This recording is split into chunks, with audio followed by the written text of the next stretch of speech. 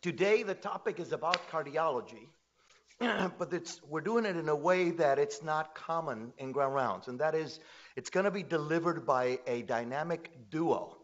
It's going to be delivered by two partners that came together professionally to actually present what's the state of the art in this particular topic. And we have known about dynamic duos and professional partnerships throughout history in medicine and, and science. And I'm going to tell you about just a few to get you pumped up for the presentation. And these few are people that you probably haven't heard much about, but you should think about. So let's remember Robert Galambos. Robert Galambos, with a G, was born on this day in 1914.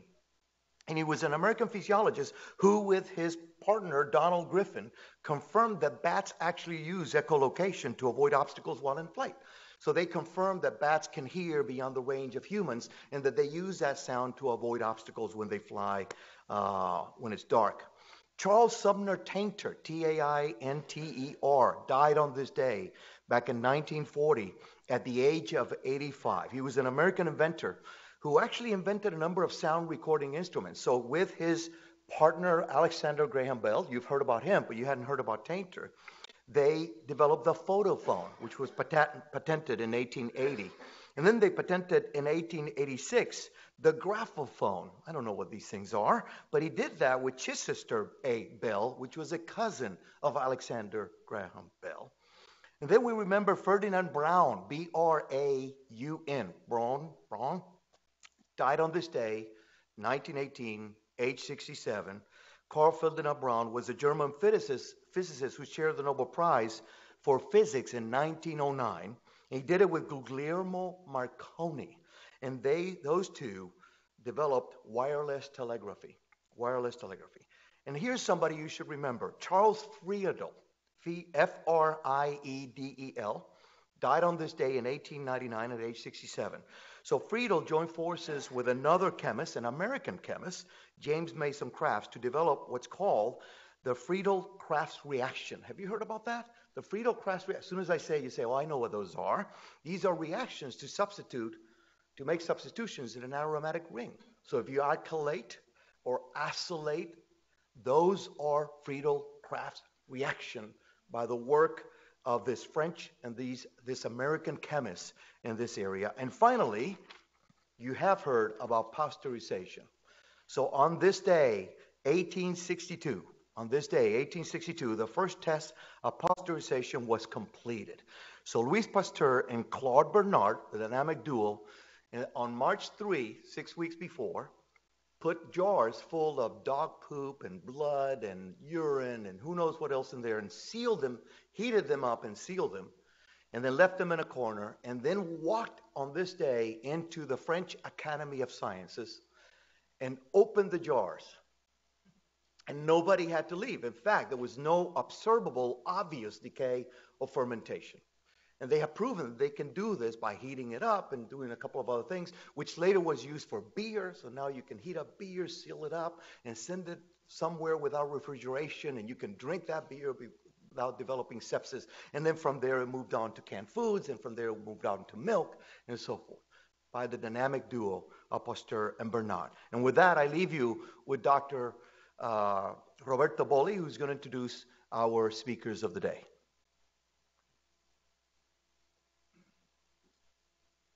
Thank you, Jesse. So uh, today we have a fairly unusual format with two speakers, uh, which will uh, share with you one of the amazing things that cardiologists do, because cardiologists do a panoply of really amazing things. Um, if you look at what cardiology, right, uh, you, the three of us agree on that look what cardiology has done in the last 50 years has been absolutely extraordinary, right? We started out with cardiac catheterization and the CCU, the defibrillator, bypass surgery, coronary angioplasty, coronary stenting, percutaneous aortic valve replacement, and then came aspirin, and then beta blockers, and then ACE inhibitors, and then statin, and then electro, electrical ablation of arrhythmias, left ventricular assist devices, and ablation of atrial fibrillation. But that's not enough.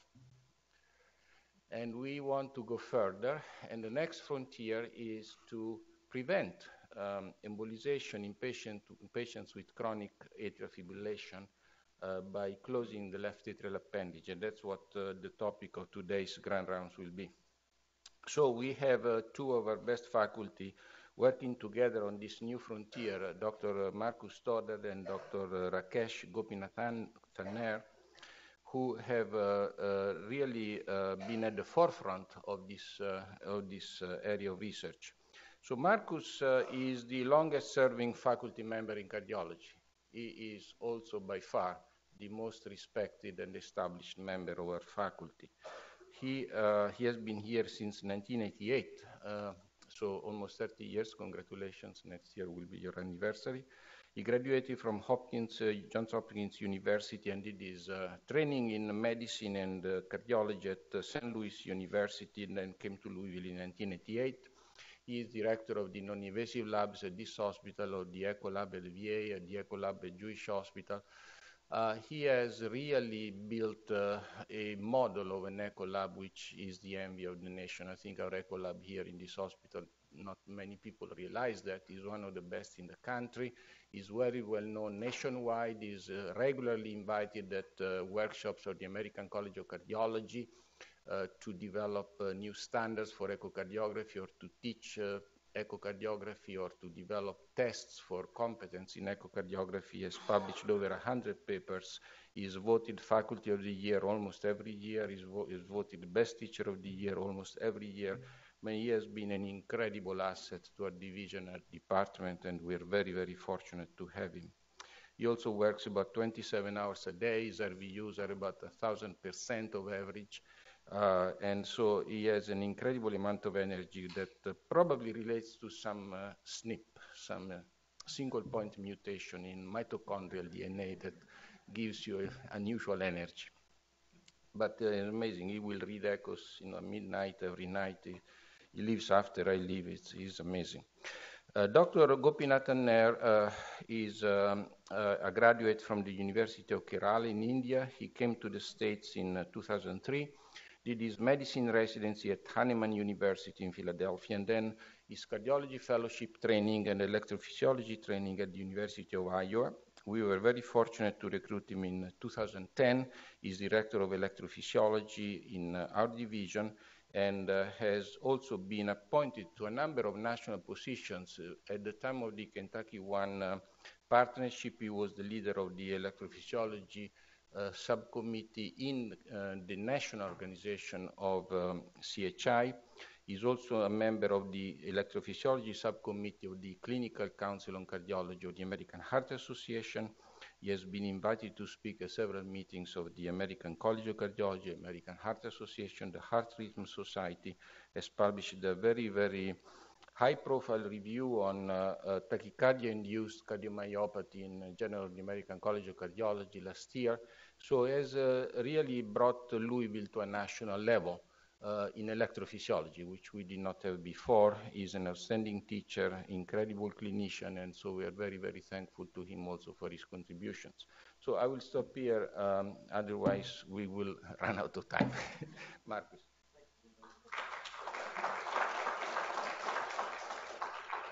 Good morning. Thank you, Dr. Roman, Roberto, colleagues. Um, the topic today is a very important one because this issue with atrial fibrillation has gone on for such a long time, and we've struggled as clinicians to try to control many of the problems that it creates. One of which is, of course, thromboembolism. And we know basically the role of how to treat such patients and who should be treated. But we've evolved now where we now have percutaneous devices that will play a complementary role and certainly an adjuvant role at this point for treatment of anti, uh, uh, for arrhythmia reduction. We have no disclosures to, to give today. And the date on that slide was wrong. It's 4 20, 2017.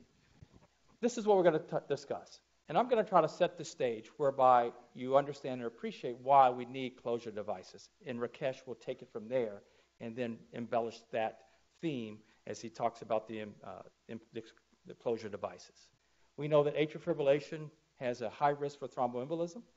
We know that the left atrial appendage is key in these patients with non-valvular atrial fib as a source of these clots causing embolization.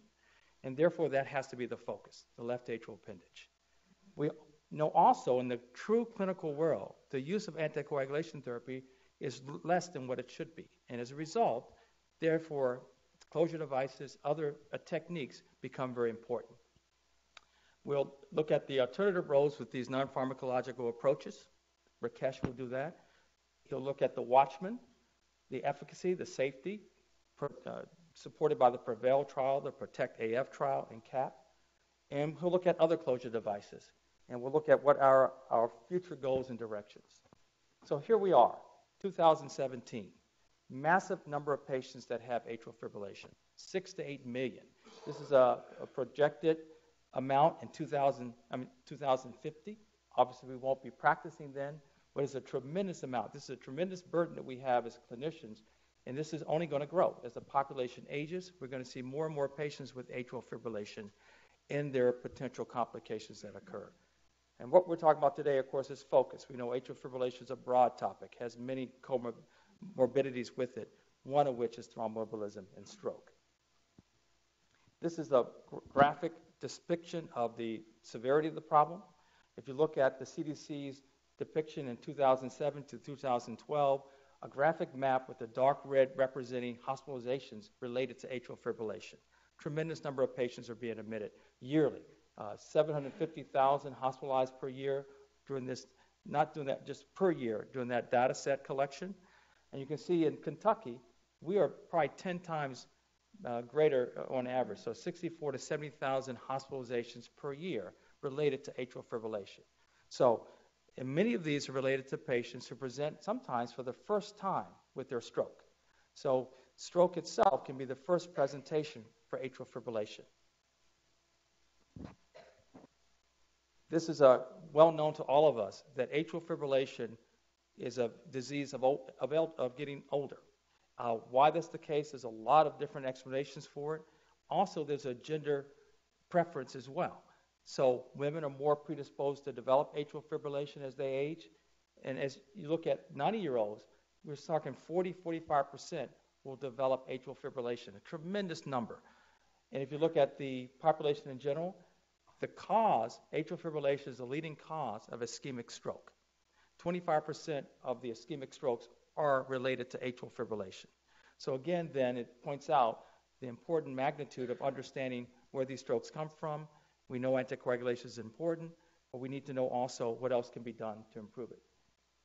Look at this slide. You can see why, lower right panel, this is an aerial view of a left atrial appendage. And those little mobile densities in there are clots. A 3D rendering of a left atrial appendage. This appendage doesn't function. Usually the, the appendage should be contracting. Uh, when it's dysfunctional, a stasis develops, and you have clot formation. That's a 3D of a left atrial appendage in a patient with atrial fibrillation. And this is what they have: these large strokes. Uh, let me use my these large strokes, and this is a, a, a, MRI scan showing a large stroke in the middle cerebral artery distribution, the classic embolic territory. And this data is old data, Copenhagen SPAV trial, looking at how many of these strokes that do present related to atrial fib are devastating strokes, disabling or fatal. So it's a huge population that come in with these strokes. They're going to be disabling or fatal in over 40%, close to half of these patients. The focus then is going to be the left atrial appendage and the left atrium in general. About 75% or more of the, of the thrombi uh, that come are in the left atrium in these patients. And the focus is the left atrial appendage itself. Take a look at this. You can see why this is a patient who's at risk to develop a massive stroke. This is a mobile thrombus in the left atrial appendage, a dysfunctional appendage. And greater than 90% of the clots that form in the left atrium form in the left atrial appendage in patients with non-valvular AFib. So once again, setting the stage for the focus being the left atrial appendage. This is our CHA2DS2-VASc scoring system that we use as clinicians to try to risk stratify the risk of stroke, and you're obviously very familiar with this, the various components. I won't go through them one by one, but this gives us an aggregate clinical assessment of the likelihood of ischemic stroke per year. And this is going to be important in terms of identifying those individuals who are candidates for percutaneous closure devices. So I'll just put that up there as that. The recommendations are for anticoagulation for these patients. If you're CHA2DS1 or CHA2DS2 or greater, it's either the NOACs or the warfarin-based type anticoagulants. And most of all of the guidelines trials, American Heart, American College of Cardiology, the uh, Heart Rhythm Society, and European Society. So no one's really debating the need for anticoagulation in these sort of patients who have these kind of risk factors. CHA2DS1 even in many uh, recommendations, but certainly CHA2DS2 or greater. But for some reason, even though they're effective, anticoagulation, which results in a 68% risk reduction in stroke from patients with non-valvular AFib, on average 6.8% per year, can be reduced to 2.1% per year. Despite all of that and massive data supporting it, it's not used fully. This is a graph showing the use of anticoagulation, NOACs, as well as warfarin. Warfarin in the green bars, NOACs in the gold bar. And if you look at the CHA2DS2-VASc scores, these are certainly patients that should be anticoagulated. Less than half are receiving anticoagulation. So that's not news to you. I mean, you struggle with this issue just as well as I do. It's a big decision to decide to anticoagulate a patient. And usually because we're concerned about bleeding. We're concerned that this older patient is going to have bleeding problems um, on this anticoagulants. So we always embellish the hemorrhagic complications of these patients. The elderly patients greater than 80, prior GI bleeds, fall risk. What we've done, though, is probably overemphasize the bleeding risk of anticoagulants. And we, for that reason, tend to use them less than we, probably should, explaining some of that 50% use of the anticoagulants when it should be higher. But despite that, this is going to continue. No person talking to a clinician telling you should use it more is going to necessarily make the difference or turn the tide. You're going to be concerned about an individual patient that shows back up in your office, got a hospitalization for a GI bleed on anticoagulation, and you're always thinking as a clinician, do no harm. So you're very concerned about that. Despite that, um, you're concerned about using anticoagulation. So here's the, chat, the score that helps us in risk stratifying patients who are likely to have bleeding per year. And these are the components of it. It doesn't capture everything we know as a clinician that's going to predispose to bleeding, but hypertension, abnormal renal function, liver disease, stroke, previously major bleed prior, labile INRs, which happens probably in 40% of our patients on warfarin, age greater than 65, etc.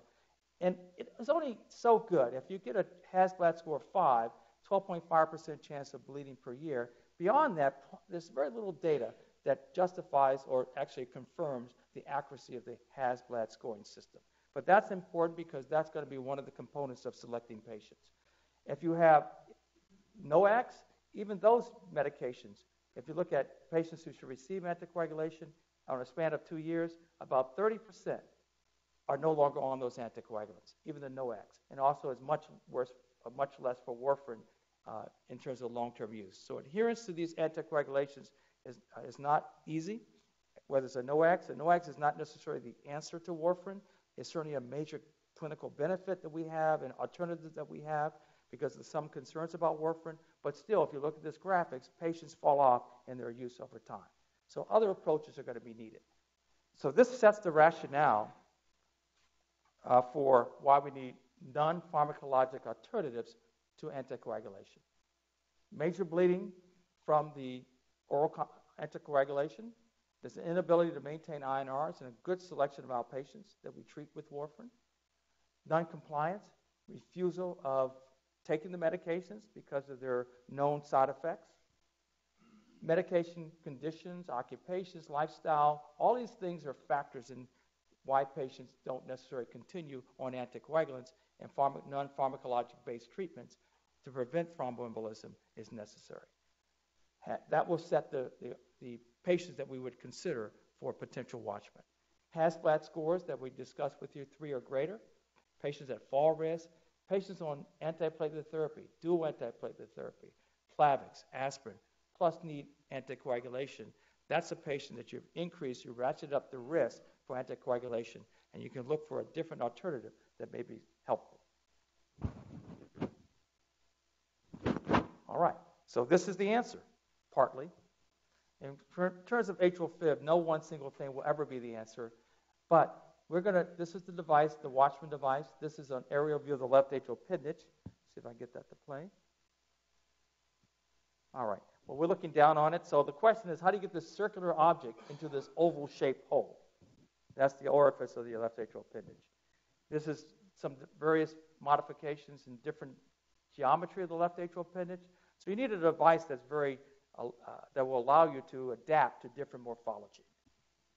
You need a device that can span the sizes of the appendage. Right now, the Watchman device goes from a 21 millimeter to a 33 millimeter, and this is what it looks like. And it's put into the left atrial appendage. It basically is compressed by the appendage, but it sort of reconfirms the, the shape of the appendage, making it circular. Uh, anywhere from a 21 to a, I'm sorry, a 17 to a 31 millimeter size appendage is a patient that could have a Watchman. This is the fun part about doing echoes. This is a chicken wing. This is a left atrial appendage and has a morphology that's similar to a chicken wing, and that's what it's called. We have different morphologies, Barkley, cactus, etc. And there are the challenges. Not only is the size of the orifice important, but the morphology is also important. So you need a device that will adapt to it. And with that said, I'm going to hand this off to my able colleague to carry on from here, and we'll see what we can do for further treatment of these patients.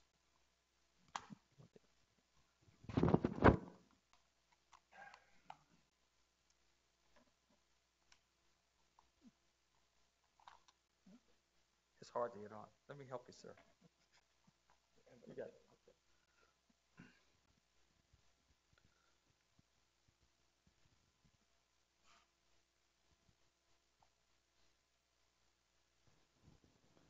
Can everybody hear me okay? Thank you. So, so let's, uh, uh, um, thank you, Marcus, and uh, thank you, Dr. Bolli, for that kind introduction. Um, just we're going to move on to the procedural part or the mm, more of the uh, what kind of closure devices are available and what's the data behind it.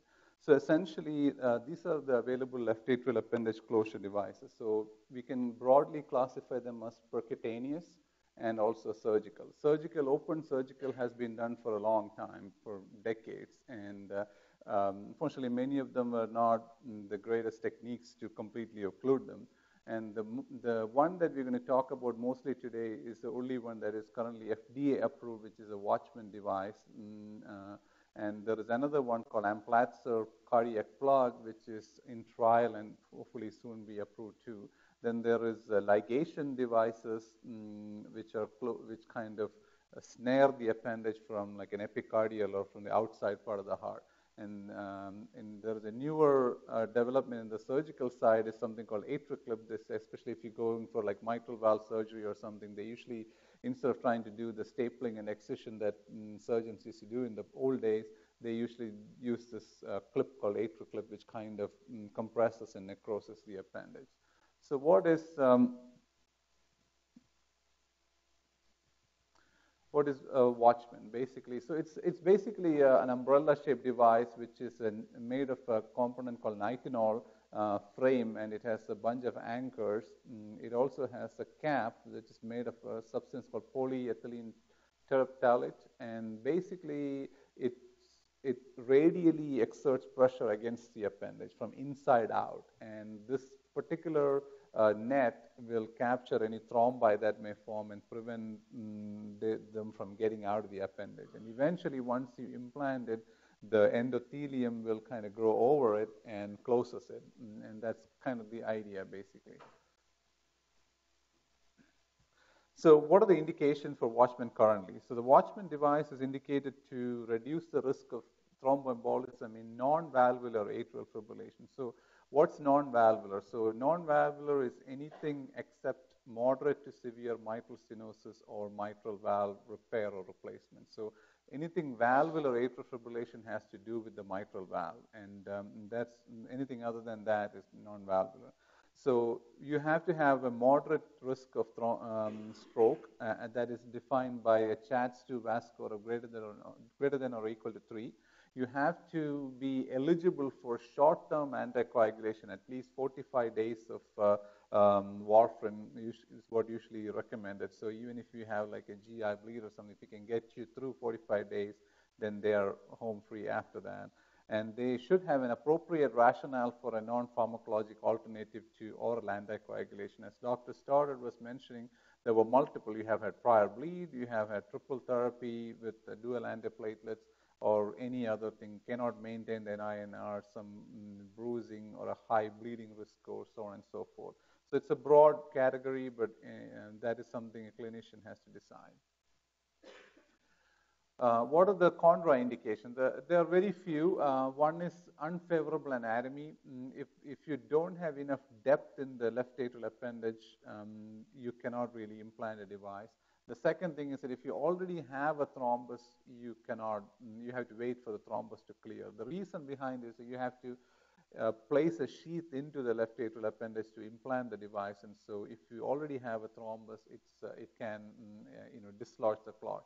And lastly, if you, at the current, uh, uh, as we speak today, uh, if you have an absolute contraindication like a prior brain bleed or something like that, and uh, we are not allowed to use it right now because of this requirement for warfarin for 45 days after that. But there are trials coming, and we'll talk about it a little later, that will mm, uh, hopefully allow us to do this in the near future. So, how do we do this? So it's a one-time implant. There is no change out, nothing. Uh, it's basically done in the cardiac EP lab. Usually, we, are, we currently do it at, mm, in the EP lab.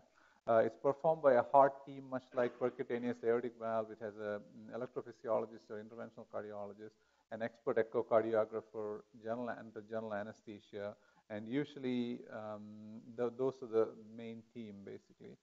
So uh, the procedure is done through the right femoral vein most of the time and uh, percutaneous, completely percutaneous. It's a 14 French sheath um, and uh, there are a couple of varieties of the sheath used and, and then you do what we call as a transseptal puncture. So you puncture the interatrial septum percutaneously and then go into the left side. I'll show you some videos on that.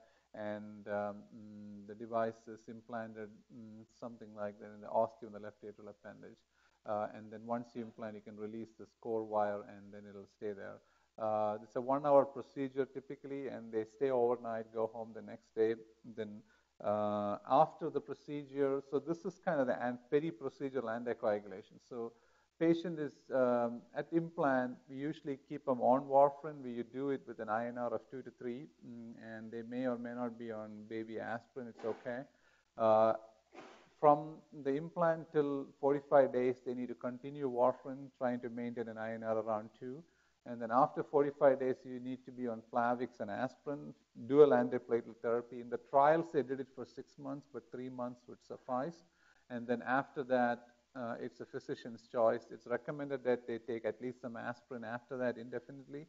Um, but if you really cannot take it, it's okay without it too. So those, those are kind of the very procedural. So by 45 days, they get a transesophageal echo, and if the device is well seated and no leak, you can stop warfarin. So somebody can, if there is a GI bleed or something, if you can get them through 45 days, they should be able to um, you know, come, uh, stop their oral anticoagulation. And you can, uh, in certain circumstances, use NOACs also post-device, although uh, there has not been any randomized studies using NOACs as an option.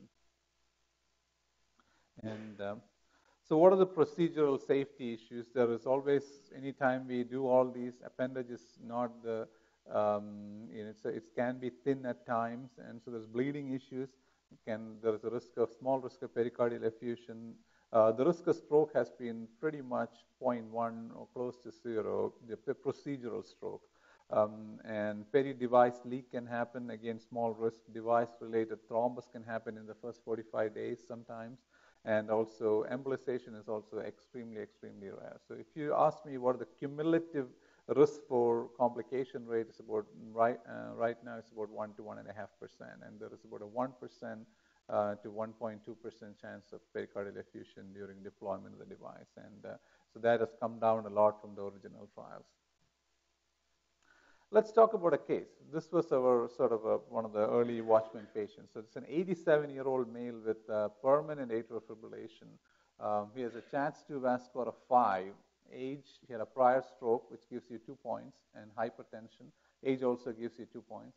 And so we, if you calculate the stroke risk, it's about 6.7 for the CHADS2 VASC, but with the CHADS2 score, which we used to use before, it is sort of slightly higher. So he has a HAS blood, it's like a bleeding risk calculator um, of five, his age, stroke, GI bleed, hypertension, and antiplatelet use. He had a prior GI bleed. He has a 12.5% per year major bleed risk and 1.2% intracranial bleed risk. So he was taken off warfarin by his primary care physician because of his mm, uh, recurrent issues with GI bleeding. So, uh, but he was confirmed mm, after evaluation that he's okay for short-term anticoagulation, but may not be a good candidate for long-term anticoagulation. So this is kind of the sort of the patient that you do. I mean, this GI bleed can, uh, some people may have frequent falls, they may pass out, all those kind of things. And so, mm, and so in this patient, so this is uh, kind of um, the walking through your procedure. This is an uh, intracardiac echo, um, and this is the left atrium, interatrial septum. This is thin membrane. So mm, then you actually use a sharp needle to puncture the interatrial septum. Mm, uh, you can see the um, needle tenting the septum and then you place a, mm, a, catheter into the left atrium, mm, and the, we told you the 14 French, the big sheath into the left atrium. And then we, um, you know, uh, Dr. Stoddard, who's an echocardiographer, will give us the views of the appendage, uh, where you look at the depth, mm, as we look at it in multiple views, make sure there is no thrombus. We also size the appendage and see what kind of device we need to use. This is a view of uh, a catheter into the appendage, whether we are putting the sheath into the appendage, getting ready for deployment. And once we are in the appendage, we're going to do a quick angiogram, which is what we see. And this is a pigtail catheter injecting dye. As you can see, the, it lights up the appendage and uh, uh, it washes out here at the mitral side. So you uh, try to get a sense of how d- deep it is, what kind of lobes does it have, and all those kind of things. And then once we are confirmed, we advance the sheath all the way up here. And then you, as you can see, uh, uh, it, uh, you deploy. Let me just play that one more time. So this is kind of how it looks. It kind of has a strawberry shape when it deploys, mm, and um, uh, this is the ostium of the appendage. This is the rest of the appendage. And then after that, we usually inject, uh, we take a look at the echo. So this is kind of how the device sits in the ostium, mm, and it completely covers from this edge to uh, this far edge. This is what we call the Coumadin ridge, and uh, this uh, it sits pretty well there. Then we make some measurements and make sure inject some more dye, make sure there is no uh, clear leak in there, and then we release the device. So that's kind of um, the procedure. It's uh, it's not a super complicated procedure, but it's mm, you know mm, it's it's mm, it requires collaboration with the um, echo anesthesia and um, the the procedure is in that regard. So this is the this is the same patient 45 days after. So you can see that the device is still uh, this, this. If I can draw this, this is the appendage here and this is the ostium right here. And you can see the device is still sitting pretty well in the appendage and there was no lo- leak in this patient. So this patient has been taken off warfarin. He's already on aspirin now. He's been almost uh, six months uh, four or five months.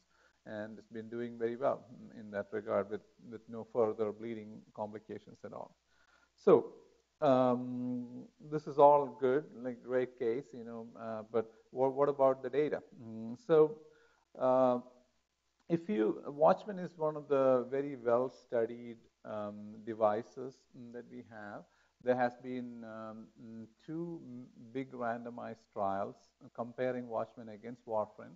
And uh, over, um, right now, the, in trials, we have 2,000 plus patients and almost 10,000 implanted worldwide mm, over the past several years. And um, the, mainly I'm going to talk about PROTECT study, which is a first uh, randomized trial for Watchman and we're also going to talk about Prevail, which is a second randomized trial that they did. So, what about the device success, implant success? So, if you look at various studies, uh, a successful implant means you're going to implant a device, it mm, positions well, and you're able to mm, without any major issues. And so, in, in multiple studies, it has anywhere ranged from Um, in the original study, it was low because of the learning curve, and it's been anywhere from 95 to 98 percent, and so which is what we have seen in our experience too. Mm, and so uh, it's pretty successful implant overall. So Protect AF was a prospective randomized multi-center study of 707 non-valvular AF patients who were randomized two, in a two-to-one fashion to the Watchman device and warfarin. And the primary efficacy endpoint was composite of stroke, systemic embolism, and death. And so safety endpoint was major bleeding or any procedure-related complications. So they, these patients, um, in this particular study, only 88% had a successful implant. Many of the techniques that we use now were not available in Protect AF at that time. And so they had a higher procedure-related complication and lower success and about 86% were successfully discontinued warfarin at uh, 45 days. And um, um, after the, this much follow-up, uh, there was 3% who had a um, efficacy even stroke or death in the wa- wa- Watchman arm compared to 4.9 for um, warfarin. So uh, just want to mention that this was a non-inferiority design, so um, but still the relative risk reduction was there and it was non-inferior. However, the, this was sort of offset by a higher safety issues in the initial trial, um, especially with pericardial effusions with, uh, without using some of the techniques that we use. So in order to address the safety, there were two concerns raised after PROTECT. One was, can everybody do it, or is it going to be a very specialized group of people who can do it? Number two was, how can we bring the safety part down? We already kind of established the efficacy in this case. So that's why they did um, mm, uh, the second trial called Prevail. So here they took 407 patients, same mm, inclusion criteria, randomized to Watchman and Warfarin, and then 25% of the patients were treated by new operators. And then um, mm, they looked at the same outcomes. The implant success was much higher, from 88% to 95%.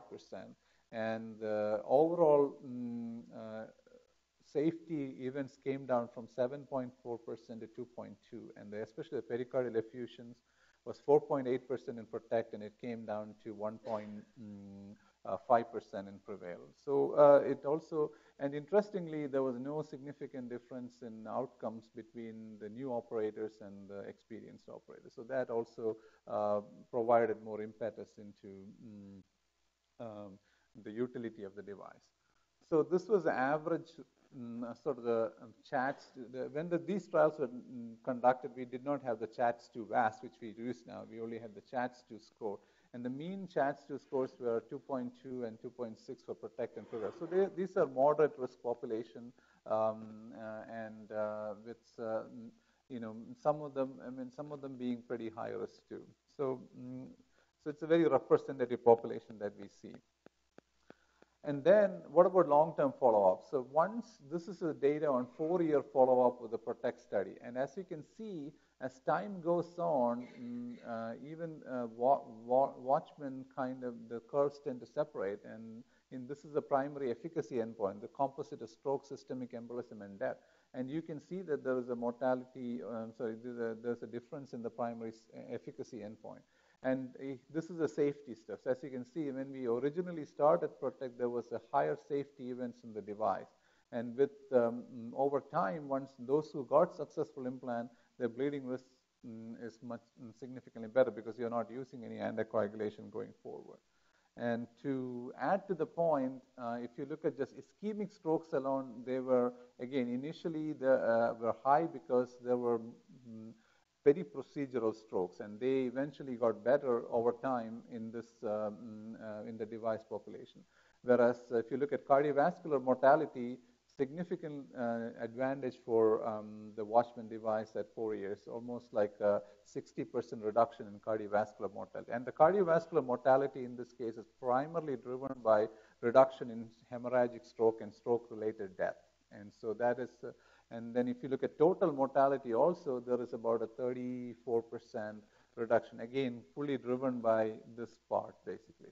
So how do you summarize all this? So at, at four-year follow-up, the Watchman device was as good as warfarin for, uh, if you look at all strokes, basically.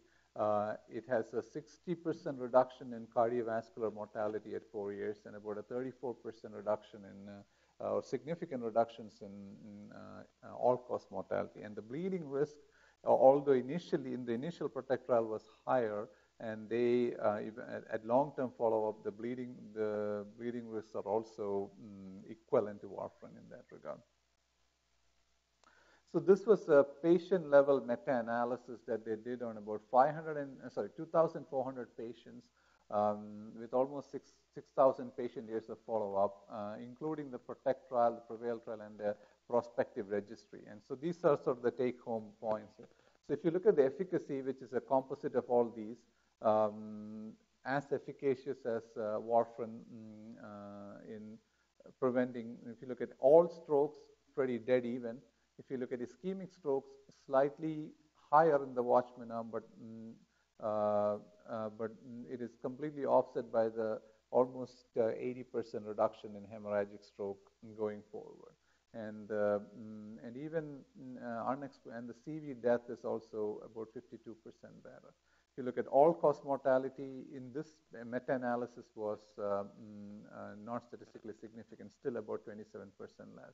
And all major bleeding, mm, uh, if you take from all intention to treat people, they are the same. But if you look at after the procedure bleeding, uh, they, they, have, they are almost 50% better in that regard. So this is another example of the bleeding issue. So this is um, post-procedure from implant up to six months. If you look at the bleeding in the Watchman group, it's about 5.9%, and the warfarin group is 11.3. So because 45 days, most of them stop it. However, uh, if you look at long term, uh, after six months, then it's, it's come down 3% to 9% in the warfarin arm. So again, significant differences. So it makes sense because once you're off the anticoagulant, we don't have to use it anymore. And so any futuristic bleeding complications is going to be significantly less. So what about patients who have absolute contraindications? So that has always been an issue. We have, we have, we all have those patients, you know, major bleeding cannot even tolerate anything in that regard or any anti oral anticoagulation. So this is a this is not a randomized study. A randomized study is ongoing. And this is a prospective um, single arm study that looked at safety of watchmen, uh, sorry, safety and efficacy of watchmen in this population. So this was a uh, very high risk population. It's a CHA2DS2-VASc of 4.4 um, and they, instead of warfarin, after the procedure, they got six months of um, uh, Plavix or a similar kind of drug and lifelong aspirin. They, mm, if you look at the stroke rate um, over follow-up,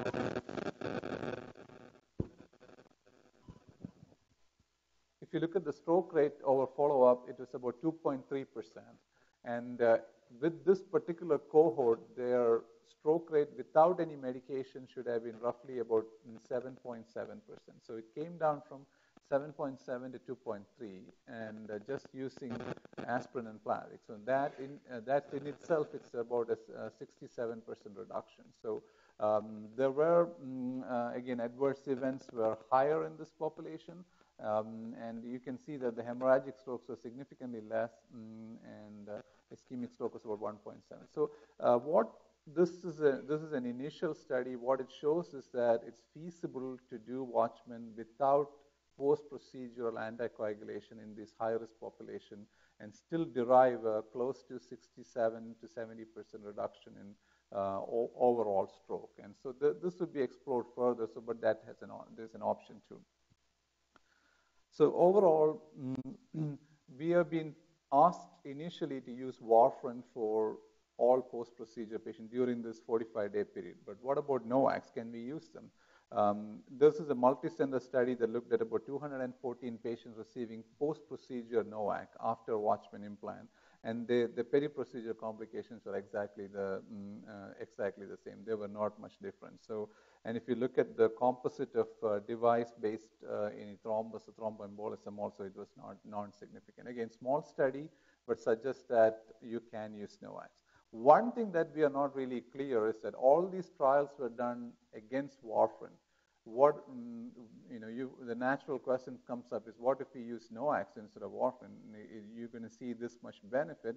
We don't know that information. It'd be interesting to know. But irrespective of that, you know, the, we are doing this for a patient who really cannot take oral anticoagulation long term. So we are not advocating this as a first line therapy, but as an alternative if you cannot do long term anti. I mean, that applies to NOACs too. And I, actually, as Mark has said, uh, about 30% of the people on NOACs stop it at two-year mark. So there is a, you know, they're not perfect either. So, but that is something that uh, may need to be studied down the road, in um, in my opinion.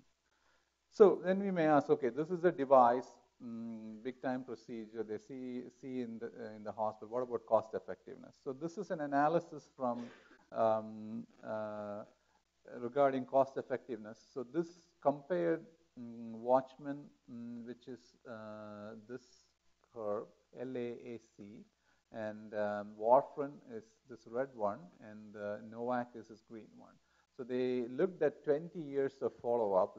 They assumed that, and they looked at data from the, all the major randomized studies for all the NOACs and Watchman, and looked at event rates, mm, cost of the device and procedure, and, and the cost of maintaining NOAC therapy going forward and also running a Coumadin clinic. So, uh, and they looked at uh, quality of life um, mm, earned per year. The, so first let's look at mm, appendage closure versus warfarin. So that is this versus this. So as you can see that at by year seven, which is right here, the mm, uh, Watchman becomes cost effective. As you can see, the when we start warfarin, there's not a whole lot of cost, but over time there is still cost because of you know bleeding-related hospitalizations or uh, you know mm, uh, just by getting the blood checks done.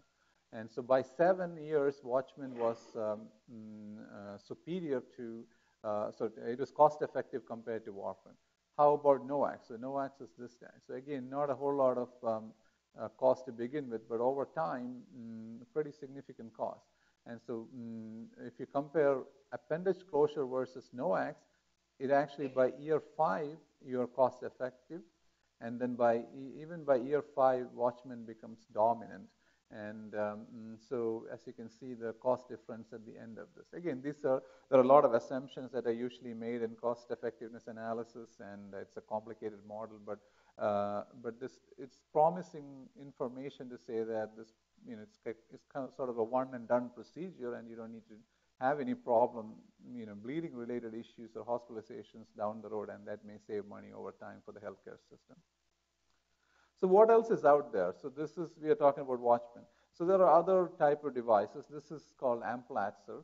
It's kind of like, uh, it has a two discs, like it has a proximal disc and a distal disc. So it kind of um, closes the appendage with the distal disc, and the proximal disc kind of sits inside the appendage. And so this is undergoing trial. There are a couple of advantages uh, to this device, mostly with the type of anatomy, and also there is some data that the leak is much less with this device. So this is an example of um, implants. As you can see, there's a distal disc is sitting inside the appendage and the proximal disc, and you can see that the appendage is kind of closed, like almost with like a um, you know, jar with a lid, basically. So, mm, and so this is another opportunity coming down the road, or alternative mm, um, procedure. Then uh, let's look at uh, this is another mm, uh, device that is available. We don't do it right now here. It's called a lariat device.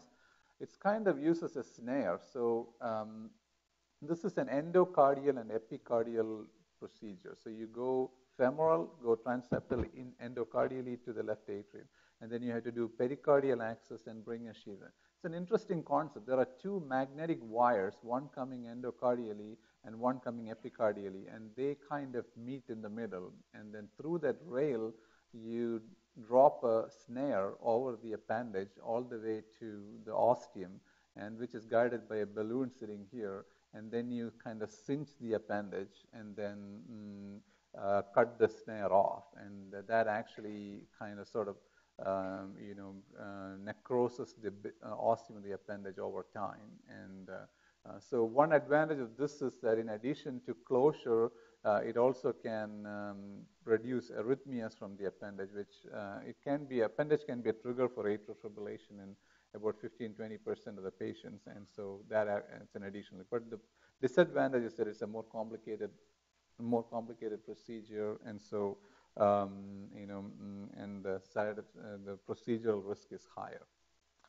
And there are many, many um, devices in development. It's a very advancing field. We I call it the appendageology. That's like it's been like a mm, thing. There are many devices that are in trials that have claimed superiority in one way or the other. But this field is rapidly growing as the um, you know the non-invasive, mm, sorry, the, in the non-pharmacological way of uh, preventing strokes and atrial fibrillation with multiple procedures.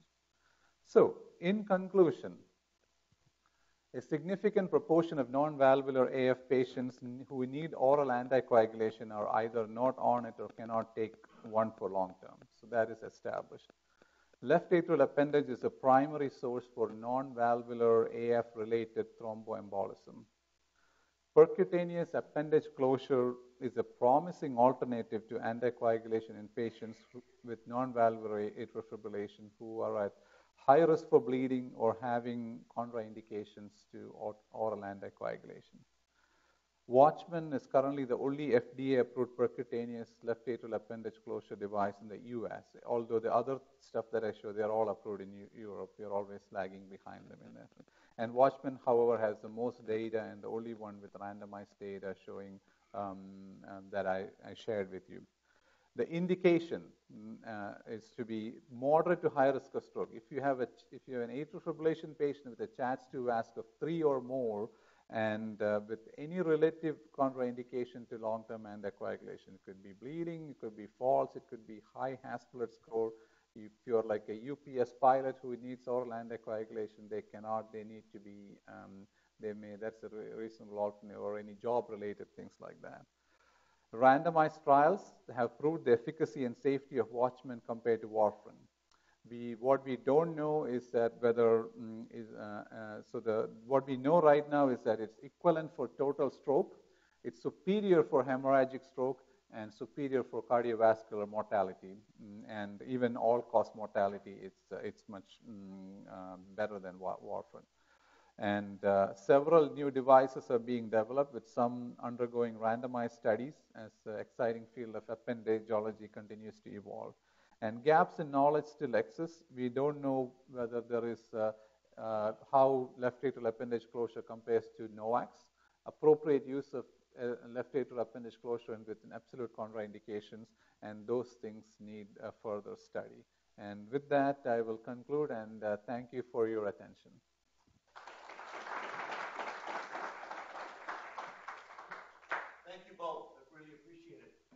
very well presented. And I was unaware uh, of this, so this is pretty cool.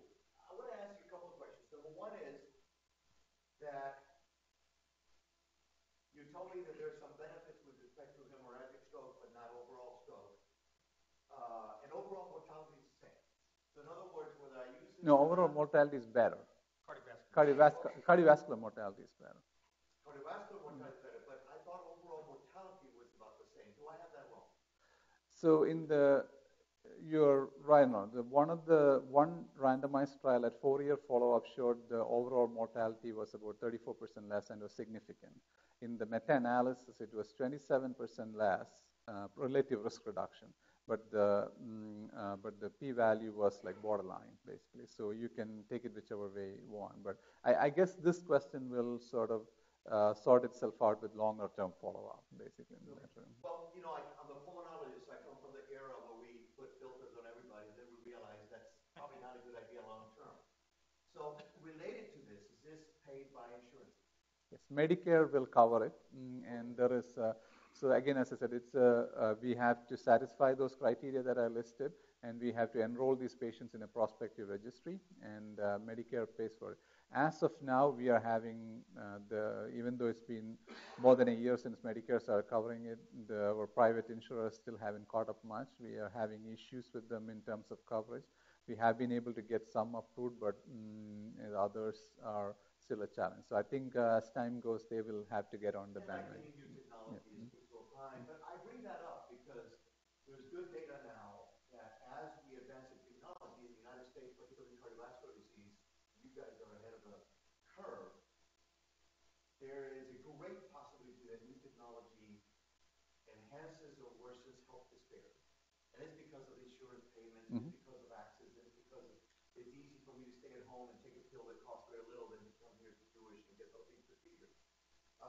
something that we need to keep aware of. But this is really exciting. This is really exciting. Questions and comments? Yes, sir. Uh, really enjoyed that part of the, uh, this for this thing. Couple of questions. Number one, I saw the Protect, uh, AF data, it says one thousand sixty-five patients. You know roughly, was that a three-year, five-year? It was, uh, uh, the first trial was about uh, almost close to a two-year follow-up, 1.8 years median. We will learn more than that. And they, Protect now has about four-year follow-up that is published. Mm, and uh, that is this one that I showed you. Sorry, uh, if I can go faster. So about four-year follow-up. So this is the four-year follow-up. Okay. And, um, uh, and this is what I was showing. So I have two patients that had this, very successful thus far, early on. How many, when when a a patient asks me, or any of the internist here, how many have we done, what are we up to now? And then the next question for that rare patient that owns their own jet, uh, you know, has deep pockets, and what's the, what center has done the most in the United States? And is there one doctor who's the guru of the Watchman?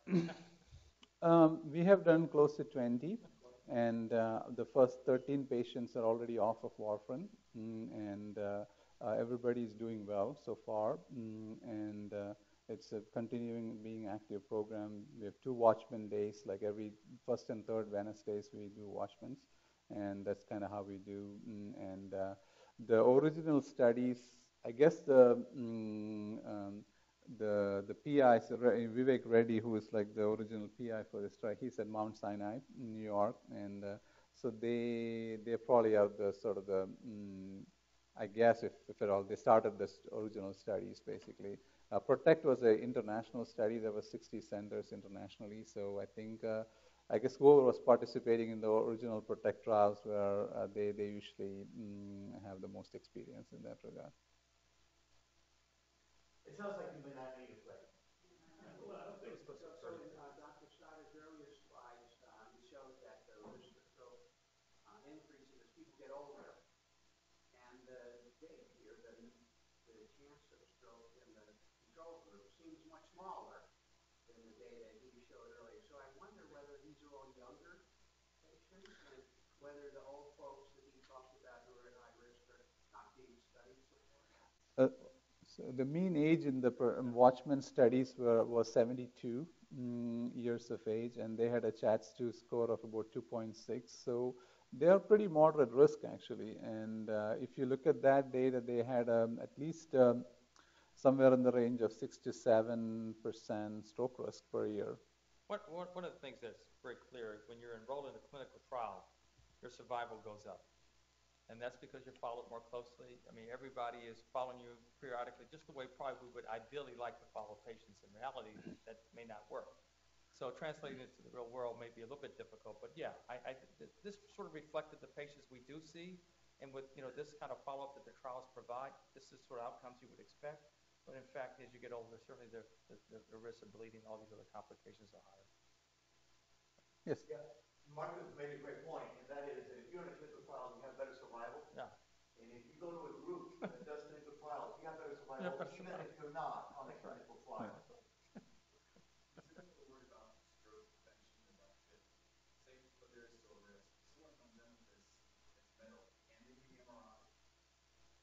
I think so. Yes, uh, it is. Uh, MRI should be fine because it's uh, it's uh, see after what happens after 45 days is that it's fully endothelializes. I would wait 45 days at least, though. Yeah, yeah. it's fully endothelializes, and uh, it kind of you know after in a few months it kind of looks like it's not not even there. Basically, I mean it's there, but the in in yeah yes, it, it, you're okay with MRI after that. Question here. What is it about the architecture of the appendage fibrillation causing this going on? I'll leave Why don't you repeat that question? Uh, the question was that what is it about the architecture of the appendage that uh, um, you know makes it like a sort of a beacon for thrombus? Yeah, I, I think it's, it's, it's Uh, obviously, multiple answers to that question. I don't think we know all the answers because there's probably three different factors in general. This hypercoagulability is going to be an issue, and the stasis that's in the appendage is going to be an issue. Inflammation, all these sort of things are going to be aggregate. It's not going to be just one single thing. But the appendage itself is a dynamic structure. It will contract very vigorously. In some patients, AFib contracts even better than sinus. But in a good percentage, over time, that good contraction will wane, the appendage will dilate, just like you see with cardiomyopathy. I think there's a cardiomyopathy of the appendage from, from tachycardia. We see that with the ventricle. I think it happens with the appendage. And as you get cardiomyopathic atria over time from all this tachycardia, then it predisposes to stasis and thrombus formation. And then, you know, if the, you know, these clots then will break off, and then you have the embolic effects. Something that the architecture itself is important. You have these little lobes that go this way, and lobes that go that way, versus a, just a tunnel. With Multiple lobes are, are uh, predisposing areas for stasis. So you, the chicken wing that I showed you, that person is at risk, even more so than another person that doesn't have it. There's windsocks where it's just a straight little appendage. They're less likely to have clots, but still can, and they're at risk. But these other multiple lobes are little stagnant areas that, that result in thrombus formation. So my follow-up would be, in a preventative situation, why would you have safety include that right away? Or if the patient ever gets to the point at 70 where they're in trouble? Because then I don't see the what is the role of the appendage in a healthy person? So there are multiple roles attributed. There is some role in uh, blood pressure homeostasis. Um, appendage is a big source of atrial natriuretic peptide, mm, and uh, it has been uh, attributed to that. And uh, uh, the contractility part is there, as the, um, Marcus mentioned. There is also some regulation. So that mainly that uh, you know hemodynamic uh, in the in filling pressures and all that. Those are the main. Mm, uh, uh, if you look at left atrium embryologically, like you know, a vast part of the left, unlike the right atrium, which has a lot of muscle, the appendage is pretty much the only real muscle that the left atrium has, basically in that regard. The rest, the whole posterior wall of the left atrium originates from the embryonic sinus venosus, and they are all venous. They are very thin. And uh, so mm, that's why clots tend to form more, I believe, in that regard. I guess this goes into that term that I have never seen out in which I think is pretty cool. I mean, the understanding the appendix and what it does. Questions, comments, Roberto? So how about uh, valvular fibrillation? Let's say imagine deficiency, these devices do not stay there because of the blood going back and forth, Oh, no, that's not the issue. The issue with valvular atrial fibrillation is that they have a higher risk of uh, forming intraatrial thrombi, not only in the appendage. So uh, just closing the appendage may not take away all the risks, basically. So you want to add to that? Yeah, I think you're right. If you look at how likely you are to form a clot in the left atrium, where it's going to be located, a lot of it's dictated by the etiology of the atrial fib. So if it's like rheumatic, if you really say true rheumatic disease, tremendous number of cases where we show left atrial cavity clots form, and as opposed to the appendage. So, but non-valvular AFib, as you define it, is predominant, greater than 90% are going to be really housed in the left atrial appendage. So it's really that's the problem. You can't protect the left atrial cavity with the device. You got a patient who's more predisposed to have, you know, may, may still have more left atrial appendage clots, but proportionally much greater number in the left atrium compared to a non-valve AFib patient. So that's the patient to be leery of. And I actually think that we you know, we're still at the threshold trying to really sort out who's going to be best identified as patients that need this device. I really like to see patients who have left atrial appendage dysfunction, little stasis. If I see a nice looking appendage, I'm not so sure that that's going to be the source of this stroke. So we don't have any long-term data for that, but I think moving forth, we would want to certainly think about that. Is that really the right patient that should have it? I want to end by, if you could just briefly tell us your impression of what I, what appears to me to be the, the sort of increasing fluidity of cardiology. Uh, here we have electrophysiologists addressing a physiological issue with a physical mechanical therapeutics and a diagnostic tool that is now being used for therapeutics and follow-up of therapeutic involvement. Now this is all becoming very fluid for the benefit of the patient. Can you tell us a little bit more about that for people who are interested in cardiology and doing things related to this specialty? Uh, I'll start. Uh, a lot of things in um, you know what we are doing uh, has become a team approach, and we cannot do it without it. Like a classic example, um, I mean, I'll show the appendage as an example because Uh, it's essentially we are not treating an arrhythmia, so why does electrophysiologist have to be involved in this? So the reason is that we do a lot of ablation and work in the left atrium from atrial fibrillation and all this. So we are very well versed with the techniques that is needed to this. And then uh, on the other hand, uh, this particular, to tackle this problem, we need high-end imaging. Basically, you have to know uh, how it looks, what kind of lobes are there, how what the ostium is. Somebody needs to tell us really, hey, I need you need to use this size, you know, because if you undersize it, it's going to embolize, and if you oversize it, it may impinge on the mitral valve, which is just down there. So you have to be very. It's a crucial aspect of things. So and so another example for collaboration is um, between cardio- multiple facets of cardiology as well as cardiac surgery is uh, like a percutaneous aortic valve. Mm, and uh, uh, so we have realized that a lot of these patients have become very complex and like LVAD patients, and they have arrhythmia, so they need electrophysiology. So we have to learn their language, they have to learn our language. The same thing with here. So I think we have found it so much more beneficial to kind of you know bounce stuff off each other and then bring everybody together to kind of get a you know combined decision okay what you what's the team decision? And so there are things that i i may think that that appendage is okay i can implant it and then marcus may say no it's not it's not a good appendage to do it. So we don't. And so it ends you know so it, it always um, bringing the expertise together to tack, uh, tackle a disease. So it's like a disease specific team or a pro- program specific team. And so that's kind of where we are going, so called heart team approach. And I think uh, it's going to be the future. I think you characterized it well. And I was going to actually, that was going to be my introduction, but you stole it, so I didn't take it. It's not a collaboration, it's a partnership. It's stronger than a collaboration. Collaboration you can do over the you know internet, whatever. Partnerships, you're going to be you know day to day working together in the same area that you're trying to achieve the same goal.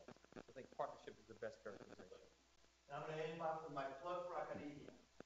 SPECS is very difficult to do if you're a community cardiologist independently working somewhere else. This requires a team, multi-site team, requires mission-based, discovery-driven approaches. You cannot do this in private practice. Have a great day. Thank you, Jess. Appreciate it. Excellent. Excellent. All right, so I'm glad I brought all my stuff. I, I truly do. I never travel without it. This little, this little thing. Nice talk. Oh, thank you. Congratulations. We got here, we didn't, nothing was running, but I happened to bring all of my stuff, so we got to run. So So one I day think- we'll be a board in appendiology. There- there- Well, there The is. appendiology We board. are, we are actually adding to the echo board